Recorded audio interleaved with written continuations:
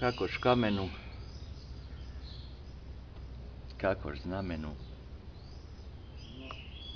a ne spomeni ženu.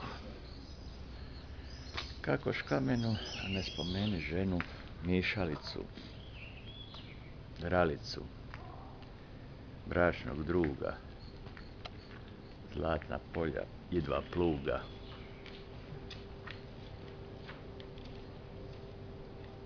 I lipše i starije. Samo da mi je.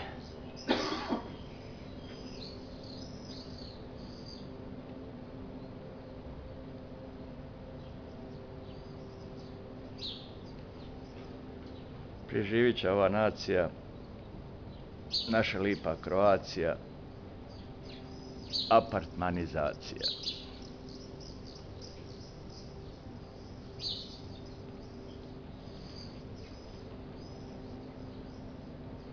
Svaka vam čast, prekrasno radite, momci.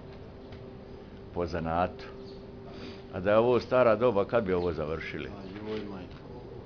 Kad bi završili? Bi završili recimo tri puta sporije ili... Da. Znači, nema mišalice, ima dva čovjeka, oma nama više. A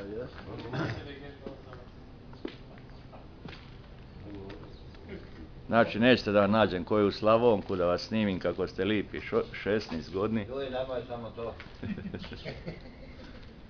Znači, ne volite Slavonku? Pomoći ćemo sliku. E, nećete. Sve ne volimo. Nemamo vremena za ljubav. E.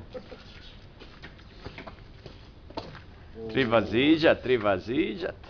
Ne se ženama sviđat. E, Zauzeti smo s poslom. E, neka Bogu hvala.